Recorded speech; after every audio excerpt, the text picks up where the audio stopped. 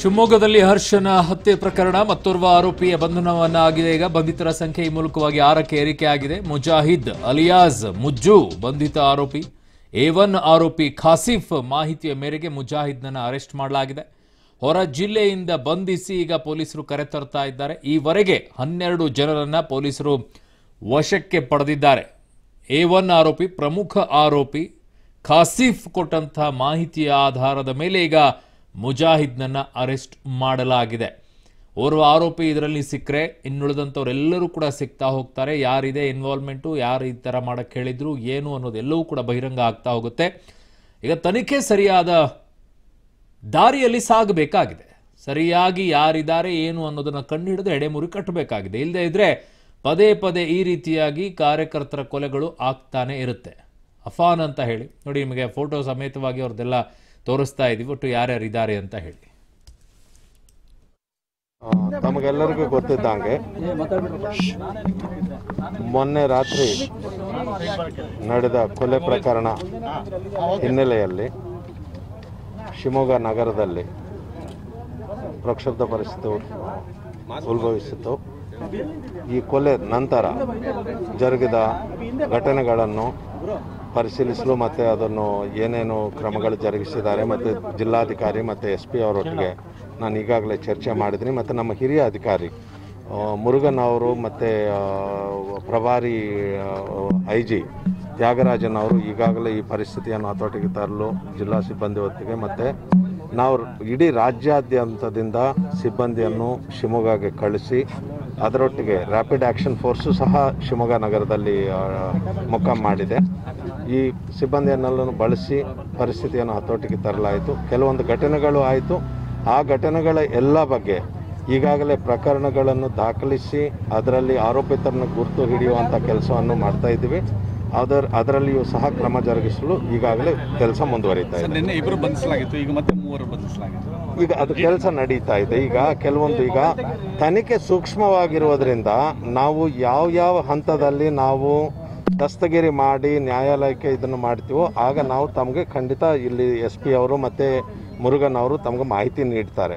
ಆದರೆ ತಮಗೆ ಇಷ್ಟು ಹೇಳಿ ಬಯಸ್ತೀವಿ ಪ್ರಕರಣದಲ್ಲಿ ಖಚಿತವಾದಂಥ ಸುಳಿವುಗಳು ಮತ್ತು ಯಾರ್ಯಾರು ಈ ಕೊಲೆಯನ್ನು ಮಾಡಿದ್ದಾರೆ ಅನ್ನೋದು ಮಾಹಿತಿ ಪೊಲೀಸರ ಹತ್ರ ಇದೆ. ಆರೋಪಿತರನ್ನು ಬಂಧಿಸಲು ಎಲ್ಲ ಕ್ರಮಗಳನ್ನು ಜರುಗಿಸಿದ್ವಿ. ಅವ್ರನ್ನ ಶೀಘ್ರವಲ್ಲೇ ಬಂಧಿಸಿ ಮಾಹಿತಿಯನ್ನು ನೀಡಲಾಗುತ್ತದೆ ಈಗ ತನಿಖೆಯಲ್ಲಿ ಈಗ ತನಿಖೆ ಆರೋಪಿತರನ್ನು ಗುರುತು ಹಿಡಿಯಲಾಯಿತು. ಈಗ ಅವರನ್ನು ನಾವು ಇಂಟರೋಗೇಷನ್ ಮಾಡಿ ಅವರಿಂದ ಮಾಹಿತಿ ಪಡೆದ ನಂತರನೇ ಅದ್ರ ಬಗ್ಗೆ ಏನಾದರೂ ಹೇಳಲಿಕ್ಕೆ ಆಗ್ತದೆ. ಇದು ಭಾಳ ಪ್ರಿಲಿಮಿನರಿ ಆಗ್ತದೆ. ಈಗ ಯಾವುದಾದ್ರೂ ನಾವು ಊಹಾಪೋಹಗಳಿಗೆ ನಾವು ಇದು ಹೇಳಲಿಕ್ಕೆ ಆಗೋದಿಲ್ಲ ನಾವು ಅವ್ರನ್ನ ಇಂಟರೋಗೇಟ್ ಮಾಡಿ. ಯಾಕಂದರೆ ಆರೋಪಿತರು ಒಬ್ರಿಗೊಬ್ಬರು ಬೇರೆ ಬೇರೆ ರೀತಿಯಲ್ಲಿ ಮಾಹಿತಿ ಹೇಳ್ತಾ ಇರ್ತಾರೆ. ನಾವು ಅದನ್ನೆಲ್ಲ ಖಚಿತಪಡಿಸ್ಕೊಂಡಿದ ನಂತರನೇ ತಮಗೇನಾದರೂ ನಾವು ಮಾಹಿತಿ ಹರ್ಷ ಅವ್ರ ತಾಯಿ ಒಂದು ಕಂಪ್ಲೇಂಟ್ ಅನ್ನ ಕೊಟ್ಟಿದ್ದಾರೆ. ಕಂಪ್ಲೇಂಟ್ ಅಲ್ಲಿ ಆ ಇಬ್ಬರು ಏನ್ ಸಂಶಯ ವ್ಯಕ್ತಪಡಿಸಿ ಅವ್ರ ಇಬ್ಬರನ್ನ ಕಸ್ಟಡಿಗೆ ತಗೊಂಡು ವಿಚಾರಣೆ ಮಾಡ್ತಾ ಇದ್ದಾರೆ ಸರ್ ನಾನು ಅದು ಅದರ ಬಗ್ಗೆ ನನಗೆ ಗೊತ್ತಿಲ್ಲ. ಈಗ ನೀವು ತಾವು ಹೇಳಿದ್ರೆ ನಾನು ಅದರ ಬಗ್ಗೆ ಪರಿಶೀಲನೆ ಈಗ ನಾನು ಈಗಾಗಲೇ ಮಾಹಿತಿ ಪಡೆದಿದ್ದೀನಿ. ಸುಮಾರು ಹದಿಮೂರು ಬೇರೆ ಬೇರೆ ಜಾಗಗಳಲ್ಲಿ ಘಟನೆಗಳು ನಡೆದ ಬಗ್ಗೆ ನಾವು ಮಾಹಿತಿಯನ್ನು ಕಂಪೈಲ್ ಮಾಡಿದ್ದೀವಿ. ಕೆಲವು ಕಡೆ ಗಾಡಿಗಳು ಸುಟ್ಟು ಹೋಗಿದ್ದು ನಾವು ವಾರಸುದಾರನ್ನು ಪತ್ತೆ ಮಾಡಿ ನನ್ನ ಸಹೋದ್ಯೋಗಿ ನರಸಿಂಹಮೂರ್ತಿ ನನ್ನೊಂದಿಗೆ ನೇರ ಸಂಪರ್ಕಕ್ಕೆ ಸಿಗ್ತಾ ಇದ್ದಾರೆ. ನರಸಿಂಹಮೂರ್ತಿ ಇದರಲ್ಲಿ ಪ್ರಾಥಮಿಕ ತನಿಖೆಯಲ್ಲಿ ಹೇಳ್ತಾ ಇರುವಂತಹ ಮಾಹಿತಿ ಪೊಲೀಸರು, ಇದು ಇದು ಹಳೆ ವೈಷಮ್ಯ ಅಂತ ಹೇಳಿ. ಹಳೆ ವೈಷಮ್ಯದಕ್ಕೂ ಒಂದು ಕಾರಣ ಇರಬೇಕಲ್ವಾ? ಒಂದೇ ಧರ್ಮದಲ್ಲಿರುವಂಥದ್ದಾದರೆ ಆಸ್ತಿಗೋ, ಇನ್ಯಾವುದೋ ವಿಚಾರಕ್ಕೋ, ಏನೋ ಜಗಳಕ್ಕೋ, ಏನೋ ಆಗಿರುತ್ತೆ. ಬಟ್ ಇಲ್ಲಿ ಹಳೆ ವೈಷಮ್ಯ ಅಂದಾಗಲೂ ಕೂಡ ಎರಡು ಕೋಮುಗಳ ನಡುವೆ ಈ ಹೊಡೆದಾಟ ನಡೆದಿರೋದು, ಕೊಲೆ ಮಾಡಿರುವಂಥದ್ದು ಒಂದು ಕೋಮಿನವರು, ಇನ್ನೊಂದು ಕೋಮಿನವರು ಹೊಡೆದಾಟ ಮಾಡಿರೋದು. ಸೊ ಹೀಗಿರ್ಬೇಕಾದ್ರೆ ಏನಾದರೂ ಒಂದು ಇರಬೇಕಲ್ಲ ಬರೀ ಹಳೆ ದ್ವೇಷ ಅಂದರೆ ಸಾಕಾಗುತ್ತೆ ಅದರಲ್ಲಿ, ನರಸಿಂಹಮೂರ್ತಿ? ಅರುಣ್ಣ ಈ ಒಂದು ಹಿಂದೂ ಕಾರ್ಯಕರ್ತನ ಕೊಲೆ ಪ್ರಕರಣ ಸಂಬಂಧ ಈಗಾಗಲೇ ಆರು ಆರೋಪಿಗಳನ್ನು ಅರೆಸ್ಟ್ ಮಾಡುವ ಕೆಲಸವನ್ನು ಶಿವಮೊಗ್ಗ ಪೊಲೀಸರು ಮಾಡಿದ್ದಾರೆ.